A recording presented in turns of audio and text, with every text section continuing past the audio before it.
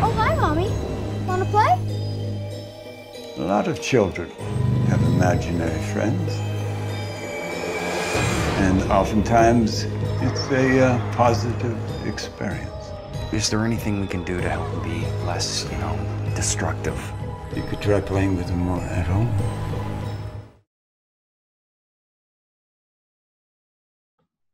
Hello. Hey. Oh, I'm there. Holy cow. Hi. Hey, how's it going? I'm all right. How are you? I'm good. I'm good. Just sticking out the heat in Chicago. We have a major heat wave going on. Oh, so, Oh, man. Oh, I've been in Chicago in the summer. It's hot. oh yeah, like that humidity when it gets going, it's like you're staying I'm inside. from that whole, I'm from that neck of the woods, like across from Detroit kind of thing. And so I know, I, I remember. Yeah, you know the Midwest. You know how it gets in the summer. Yeah. In winters, it's all snowy and cold and freezing. you never win, right? No, but I love Chicago. There you go. Yeah, it's a fun city with great food. Yes. Where are you at currently? Vancouver. Oh, Vancouver. Nice. Do you live there or just? Uh, Yeah. Oh, Yeah. No, that's where I live. very. Good nice. old Saint Canada. Did you grow up there or just move there uh, later? no, I grew up in Ontario. Mhm. and uh, moved here kind of during the end of the X Files era. I sort of missed it, unfortunately, but that was what drew me out here. There you go. I mean, you could have perked a lot, picked a lot worse places than Vancouver. That's for sure. You know. Pretty sure. Oh wow! First of all, I kind of got surprised. You have the blonde hair going right now. I, I was kind of expecting the brunette version Yeah. of you. Sort of, yeah. What's left of it that's brown? It's really not brown anymore. it, it looks it looks very well done. So that too. So as if you're going to an actual premiere, even though it's Zoom. I try, you know, I try to at least well, I appreciate that. a bit together. It's different. It's still an adjustment period. You know, usually we'd be doing this face to face or whatnot, and now everything's kind of virtual. Are you adjusting to the virtual world, or how's that still feel? Um, I don't know. I guess, yeah, it's fine. I think it opens up. A, I mean, look, for a long time, I've been asking why it mattered where any actor lives, and now this proves that you can just be anywhere and just audition, and it's bullshit that anybody has to be in one particular location. You know, so in those ways, I think it's opened up a whole world for everybody, not just you know me being staying in Canada or whatever else. Um, the online school is a little harder with my kids and uh, you know i tested for a series online like zooming and that was weird. I didn't love that. You know taking meetings that way is not the same as doing press i would say. But look it is what it is and this is where we're at and um, so you just you do what you do Yeah, I mean, at this point, you would think, you know, with, with LA not not being really a hub anymore, with Vancouver, Atlanta, all these spots kind of opening up as places where films and shows are being done. You know, being in one spot is kind of difficult these days. You know, if you want to just hunker down in one place, you kind of have to be willing to, uh, you know, around yeah, in a lot of Yeah. ways too. I mean, casting central is still going to be Los Angeles, and Yeah. that's where the casting directors are. And I suppose for them to know you well, it's best if you're there. But uh, it just goes to show you that you can audition from anywhere, and and that hopefully will open up a world of possibilities for myself and everybody. yeah, no, it's a different world than when you started, right? I mean, look, yeah, Oh my goodness. I I was just remembering back to the days of the final destination, you know, uh, I remember you from there and, and, you know, the crazy thing is how everyone's like, it was such a kind of a compelling movie and franchise. It was really kind of one of those first franchises that kind of spawned off a lot of other like horror franchises in a lot of ways. Mhm. But to see where all of you kind of ended up, like there's so many success stories, so many people from that show became stars and you know just had great careers. I mean, when you look back at it now, does it feel like a lifetime ago? And to see kind of your your former castmates and, and see what they've done since and their lives kind of how it evolved?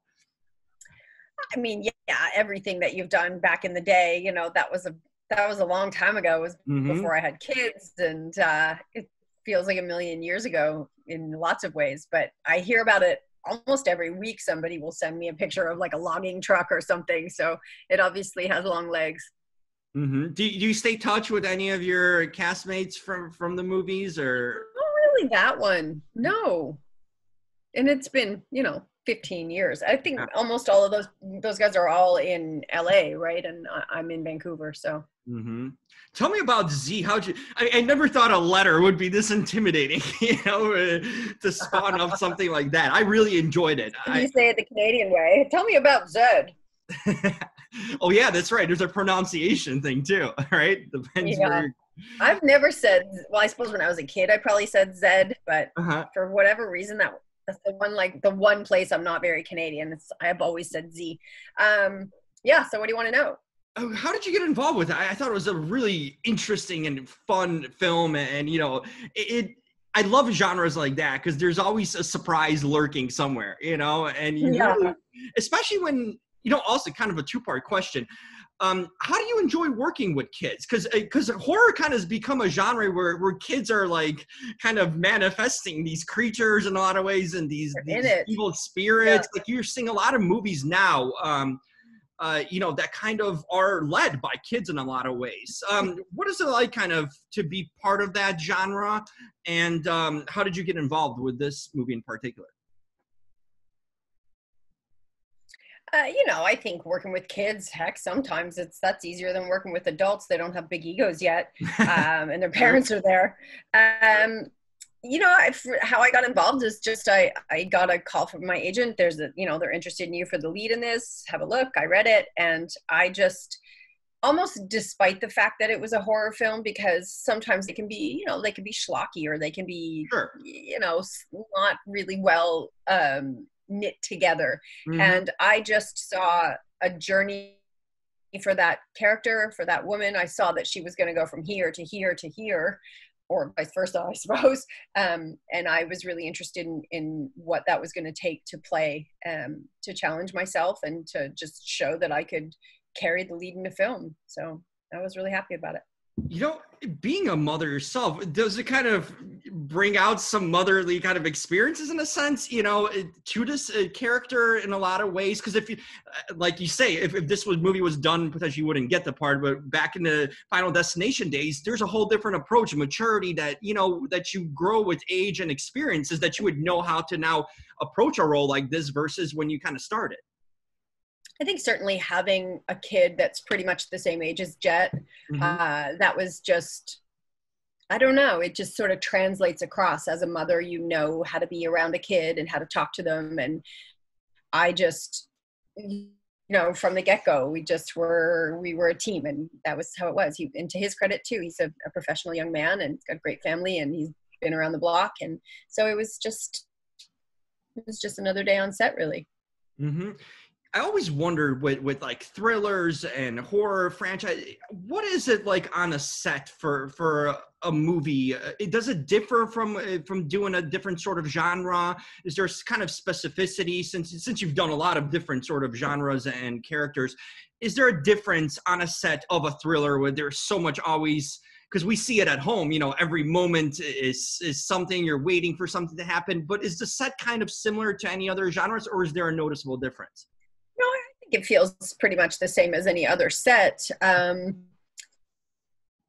yeah, it's it's just another day at work, really, when you think about it. Other than the emotional content of it, which was heavy, um, but you can have that in any any genre, and it just feels like another day. And you know, sometimes people will say, "Oh, was it scary shooting that?" And you're like, you know, it's the same way that like love scenes in a movie are like the least sexy thing you do. Right when camera crews all It's over not scary to- yeah it's not scary to shoot horror because nothing's happening you know? You're it's all made up. You're imagining everything about it. Um so what's important is that it translates for the audience and it certainly seems to have done so for this film hmm But does it make it actually difficult for an actor to kind of imagine these things versus in a movie or a drama you have an actor to work off? And a lot of these movies, it's CGI. It's it's Yeah. like a stick hold, you know, with uh, something on the stick, a ball on a stick, and you have to imagine these things. What is that approach for you as an actor to kind of envision so much of what's supposed to happen?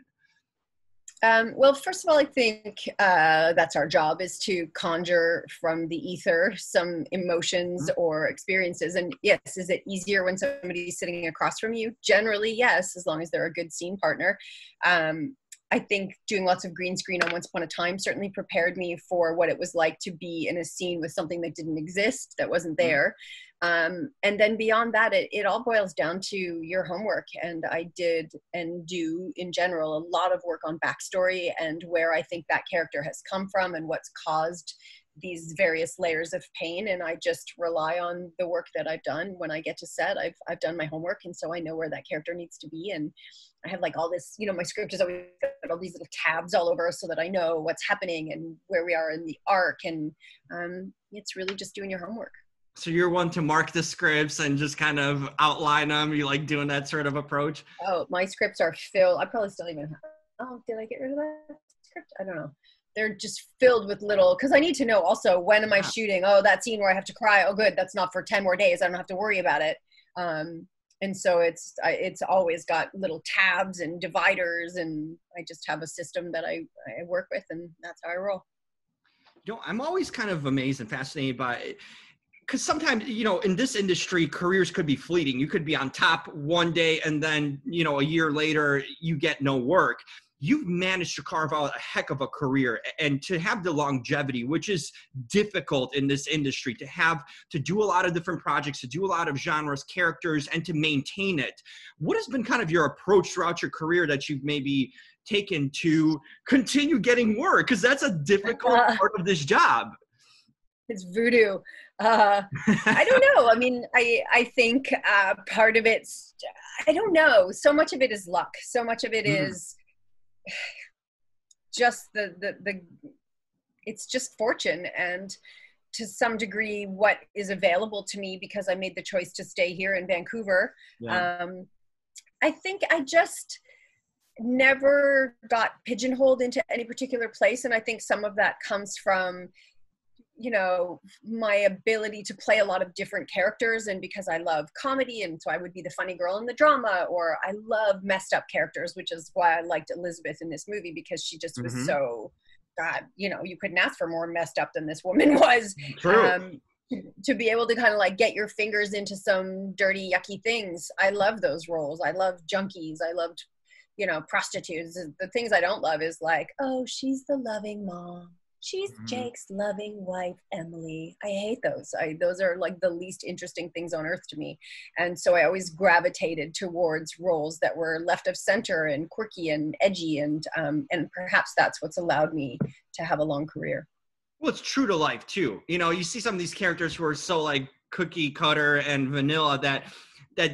these like the messed up characters, these things, these are real people, and a lot of that's where That's you relate. To you relate to these things Yeah. because it's like it's humanity, it's real life. You know, where none of us are ideal or perfect in any way.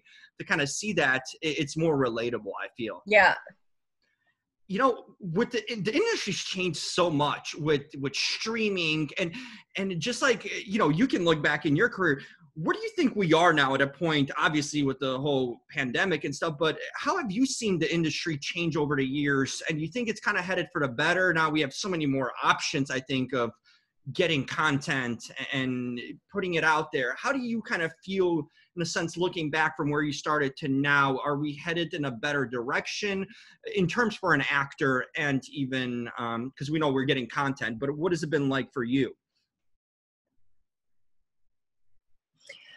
Uh, you know, I think it feels like mm, in some ways more of the same. In some ways, the landscape has obviously changed as well it should have, um, such that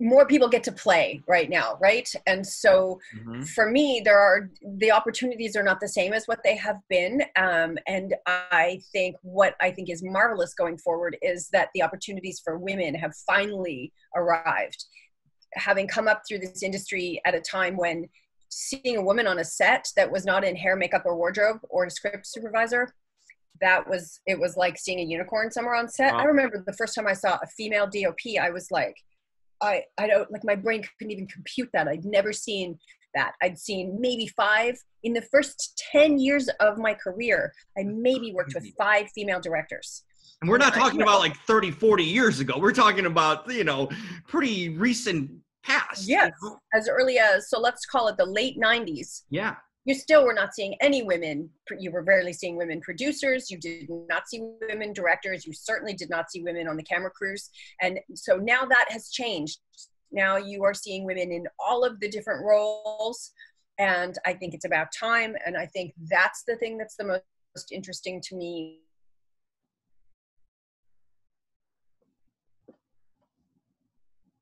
think for, for me is the most substantial um, way forward that is impactful to me. I mean, you're going to talk to a different actor, for example, like I have actor friends who uh, are of various ethnicities who before were not working as leads because it was always a white lead, right? Well, Yeah. now that's not the way anymore. And um, so it's a time for all of these kind of underserved groups, whether they be ethnic or in my case, I think as a woman, now I have an opportunity to direct and, and that's super interesting to me. And I really wish it's something that had been available to me much, much earlier. I was always interested. I just, there didn't seem to be a path the way that there is now. hmm So would and you that will change what we see as content, right? If totally? if uh, white men have been telling the story for all of TV time, well, now you're going to see Latina women, or you're going to see, or men. You know, it doesn't. It's not just about being women, but you're going to see other perspectives, and I think that that is the most important and relevant change as we move forward. That you're finally going to see stories told from myriad different perspectives and um, i love that like when i see a show that tells me about something i didn't know before like i started watching lovecraft the other day i'm like you don't understand how african americans lived in that era or this one for that matter um, because that was a perspective that wasn't being told and now it is and i think that that's tremendously important sorry that was a very long-winded No, no, that's a really good all that. perspective. That that's that's your experience, you know, and that that's valid in so many ways. And you do see that with the content we're seeing now, you know, with so many different perspectives. I think that's where it comes down to its perspectives that are finally Yeah. seen that are one-sided, you know, or one narrow uh, in that way. Would you like to do some uh, behind-the-scenes stuff, directing, producing? Did you ever think of writing? I mean, is this something That's you're interested in? That i'm doing from here forward is that's the that's the core of it. I have Mhm. uh, a pilot that's kind of making its way out in the world right now. I have a second pilot that i'm trying to get out there. I have a feature film that i'm meant to direct at the end of this year. I have uh, my short film that i had previously directed. I have another one that i'm working on right now. I mean being a creator is absolutely the direction that i'm headed in. I want a position of power. I'm tired of sitting in this chair where you wait and see what gets you know who says yes to you i'm Mhm. not saying that that doesn't exist at these other levels either but it gives me an opportunity to use my brain and my intelligence and my creative spirit in a way that you just can't as an actor you're just at the mercy of this business as an actor and Yep. i'm i'm a thousand percent over that so i'm i want to be out there making my own things Yeah. And finally, wanted to ask you, what, what are some things you enjoy to do in your free time? Any hobbies or interests that you have to when you're not working on any projects or away from the industry? Any sort of things you like to clear your mind to? Uh, yeah, I mean, gosh, I love my garden in the summer. I'm like a little gardening nerd, and I'm always have been a reader. And I really am studying the craft of film right now. I love whitewater rafting has been a long time passion, so I try to get out on the river at least once a year and be out in nature. I love being out in the woods in Vancouver and hiking and running and you know all of those kinds of things where you shut off your business brain. It's still going in the background and coming up with oh there's my script. It's right there. It's back in there but i got to go for a walk to get it out you know? Um, all of those kinds of things i think it's it's all part of like the flow of of being a creative i think most people who are creatives would say the same Yeah, eh, you're you're just not an actor in real life. You know, to bring in rich characters and be a good performer, you need to have a rich real life. You know, and bring these everyday experiences to the to your work. You know, because if some people are like, "Oh, I'm just an actor," like, no, that's not a thing. You know, you need to be a human first in order to to be a good actor. yeah for sure i can't think of anything more boring than an actor who's never lived much life you know Yeah, and focus. What are you growing, by the way? What sort of things are you growing in your garden? God, what am I not growing? I have like a 10 foot tall uh, sunflower out my window Wow. that's finally blooming. And every herb, uh, you know, tomatoes. I got all the fruits, uh, raspberries and blueberries and strawberries and salal and cucumbers and peas and beans, Wow, you gotta you can grow your own food pretty much, and that's it. flowers and bumblebees and all that. So There you go. Well, uh, my Yeah. mother's helping me too. I mean, I have some stuff. I have a tomato here, a tree, a little tomato going too. So I'm taking very care nice. of that. It does For- you good. You get up in the morning and you check all their little Yes. And you can blossoms. pluck one out. You know, if there's a tomato, I think I just there's right here. I've done something right. It's a red. See, there you go. there you go. um, baby steps, you know. Yes. Congratulations. Thank you. Uh, thanks so much for taking the time to talk to me. I've been a long time fan. Really enjoyed your work. Another, you know, awesome job. Uh, this is a really fun film, and just always excited to see you uh, working and see what's next for you. And now with the, you know, behind the scenes too. So that's really awesome that that you're pursuing that. Yeah, thank you so much. Keep an eye out for me. Hopefully, I'll have a film on the circuit, you know, in a year or so, and uh, we, we can sit down again. Yes, yes. Looking forward. I, I fully expect. that. I fully expect you to be continuing bringing stuff out. So uh, stay safe, uh, and and the best to you and your Thank you, family. you too. And and um, hope we reconnect. Thank, Thank- you. Bye bye, Keegan. It's using your son to try to reconnect with you. Be right out.